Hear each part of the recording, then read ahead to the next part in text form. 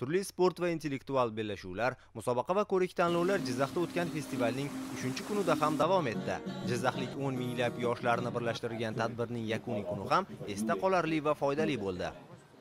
Mana festival yakunlanish arafasida e, gala konsert dasturidan oldin yoshlar ishlari agentligi direktori alisher sa'dullayev xalq ta'limi vaziri o'rinbosari shuningdek e, viloyat hokimi ishtirokida yoshlar bilan uchrashuv o'tkazilyapti ochiq muloqot o'tkazilyapti. Ushbu ochiq muloqotda ham yoshlarni qiynayotgan masalalar va muammolarni o'rganish reja qilingan. Uchrashuvga yig'ilgan yoshlar mas'ullarga o'z murojaatlarini to'g'ridan to'g'ri yo'llab javob olish imkoniga ega bo'lishdi. Festivalning yakuniy bosqichida o'rda bog'idagi amfiteatrda gala konsert o'tkazildi. Unda dastlab festivalning turli tanlovlarida g'oliblikni qo'lga kiritgan yoshlar taqdirlandi. Konsertda san'atkorlar ijrosidagi kuy qo'shiqlarga jo'r bo'lgan jizzaxlik yoshlar atrofdagi jo'shqin muhit sabab raqslarga ham tushdi kayfiyatimiz juda ham yaxshi. Bayram juda ham ko'tarinki kayfiyatda o'tyapti. Bizga shunday bayramni tashkillashtirib bergan yurtboshimizga shu tashkilot rahbarlariga hammasiga tashakkur bildiramiz.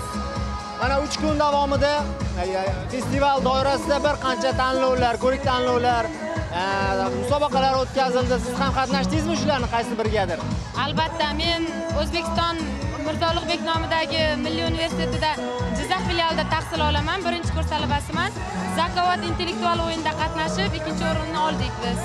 Tadbir juda ham yaxshi o'tyapti. Uch kundan buyon qatnashib kelyapmiz.